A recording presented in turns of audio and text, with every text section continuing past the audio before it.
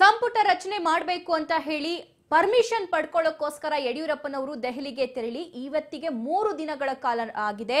ನಾಳೆ ಅಥವಾ ನಾಡಿದ್ದು ರಾಜ್ಯ ಸಂಪುಟ ರಚನೆ ಆಗುತ್ತೆ ಅಂತ ಹೇಳಲಾಗ್ತಾ ಇದೆ. ಸಂಪುಟ ರಚನೆ ಸಂಬಂಧ ಯಡಿಯೂರಪ್ಪನವರು ದೆಹಲಿಗೆ ತೆರಳಿ ಮೂರು ದಿನಗಳ ಕಾಲ ಕಳೆದಿವೆ. ಇವತ್ತು ಅಥವಾ ನಾಡಿದ್ದು ಸಾರಿ ನಾಳೆ ಅಥವಾ ನಾಡಿದ್ದು ರಾಜ್ಯ ಸಂಪುಟ ರಚನೆ ಆಗುತ್ತೆ ಅನ್ನುವಂತಹ ಮಾಹಿತಿ ತಿಳಿದು ಬರ್ತಾ ಇದೆ.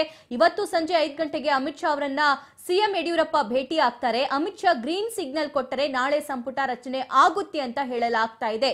ದೆಹಲಿಯಲ್ಲಿ ಸಿಎಂ ಯಡಿಯೂರಪ್ಪನವರು ಈ ಹೇಳಿಕೆಯನ್ನ ನೀಡಿದ್ದಾರೆ. ಸರ್ ಇವತ್ತು ಅಮಿತ್ ಶಾ ಭೇಟಿ ಆಗಲೇಬೇಕು ಭೇಟಿ ಮಾಡ್ತೇನೆ. ಭೇಟಿ ಮಾಡಿ ಕ್ಯಾಬಿನೆಟ್ ಬಗ್ಗೆ ಅಂತಿಮವಾದಂಥ ಪಟ್ಟಿ ಮಾಡಿಕೊಂಡು ಭಾನುವಾರ ಸೋಮವಾರ ಕ್ಯಾಬಿನೆಟ್ ಎಕ್ಸ್ಪೆನ್ಷನ್ ನಿಶ್ಚಿತ.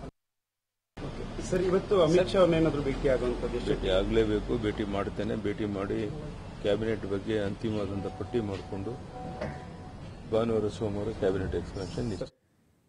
ಎಸ್, ಯಡಿಯೂರಪ್ಪನವರು ನಿನ್ನೆನೆ ಅಮಿತ್ ಶಾ ಅವರನ್ನ ಭೇಟಿ ಮಾಡಬೇಕಾಗಿತ್ತು. ಆದರೆ ಅಮಿತ್ ಶಾ ಅವರು ಇವತ್ತು ಟೈಮ್ ಕೊಟ್ಟಿದ್ದಾರೆ. ಸೊ ಹಾಗಾಗಿ ಇವತ್ತು ಸಂಜೆ ಅವರನ್ನ ಭೇಟಿ ಮಾಡ್ತೀನಿ. ನಾಳೆ ಅಥವಾ ನಾಡಿದ್ದು ಏನಾಗುತ್ತೆ ಅನ್ನೋದನ್ನ ತಿಳಿಸ್ತೀನಿ ಅನ್ನುವಂತಹ ಮಾಹಿತಿಯನ್ನ ದೆಹಲಿಯಿಂದಲೇ ಕೊಟ್ಟಿದ್ದಾರೆ. ಮೂರು ದಿನಗಳ ಕಾಲ ಆಗಿದೆ. ಯಡಿಯೂರಪ್ಪನವರು ಸಂಪುಟ ರಚನೆ ಮಾಡಬೇಕು.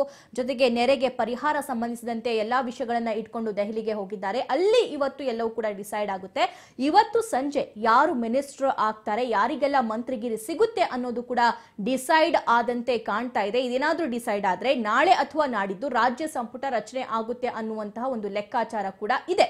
ಅಮಿತ್ ಶಾ ಏನಾದ್ರೂ ಇವತ್ತು ಗ್ರೀನ್ ಸಿಗ್ನಲ್ ಕೊಟ್ಟರೆ ನಾಳೆ ಸಂಪುಟ ರಚನೆ ಆಗುವಂತಹ ಸಾಧ್ಯತೆ ಇದೆ ಅಂತ ಹೇಳಿ ದೆಹಲಿಯಲ್ಲಿ ಸಿಎಂ ಯಡಿಯೂರಪ್ಪನವರು ಹೇಳಿದ್ದಾರೆ. ಅಂದ್ರೆ ಮೂರು ದಿನಗಳ ಕಾಲ ಆಯಿತು ಅವರು ಹೋಗಿ, ನಿನ್ನೆ ಬೆಳಿಗ್ಗೆ ಅವರು ಮೋದಿ ಜೊತೆ ಮಾತಾಡಿದ್ದಾರೆ, ಪ್ರಧಾನಿ ಜೊತೆ ಮಾತನಾಡಿದ್ದಾರೆ, ಅವರ ಭೇಟಿ ಆಗಿದೆ. ಅಮಿತ್ ಶಾ ಜೊತೆ ಅವರು ಮಾತನಾಡಬೇಕಾಗಿತ್ತು, ಚರ್ಚೆ ಮಾಡಬೇಕಾಗಿತ್ತು ಲಿಸ್ಟ್ ಅನ್ನ ತಗೊಂಡು ಹೋಗಿದ್ದಾರೆ. ಯಾರಿಗೆಲ್ಲ ಮಂತ್ರಿ ಸ್ಥಾನವನ್ನ ಕೊಡಬೇಕು ಅನ್ನುವಂತಹ ಲಿಸ್ಟ್ ಅನ್ನ ಯಡಿಯೂರಪ್ಪನವರು ತಗೊಂಡು ಹೋಗಿದ್ದಾರೆ. ಈಗಾಗಲೇ ಅಮಿತ್ ಶಾ ಎದುರುಗಡೆ ಎರಡು ಲಿಸ್ಟ್ ಇದೆ ಒಂದು ಬಿ ಎಲ್ ಸಂತೋಷ್ ಅವರು ರೆಡಿ ಮಾಡ್ಕೊಂಡಿರುವಂತಹ ಲಿಸ್ಟ್ ಮತ್ತೊಂದು, ಯಡಿಯೂರಪ್ಪನವರು ರೆಡಿ ಮಾಡ್ಕೊಂಡಿರುವಂತಹ ಲಿಸ್ಟ್ ಈ ಲಿಸ್ಟ್ನಲ್ಲಿ ಅಮಿತ್ ಶಾ ಯಾರನ್ನ ಸಮ್ಮತಿಸ್ತಾರೆ ಅನ್ನೋದು ತುಂಬಾನೇ ಕುತೂಹಲವನ್ನ ಕೆರಳಿಸಿದೆ.